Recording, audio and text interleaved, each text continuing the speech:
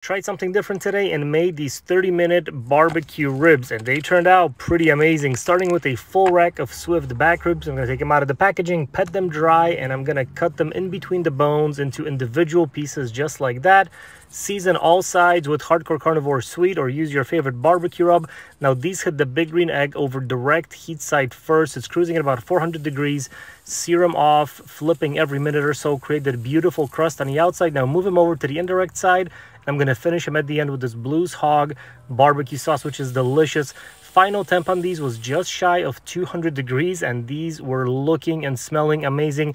Turned out delicious. Great texture to them, great flavor, and 30 minutes start to finish. Can't go wrong with that.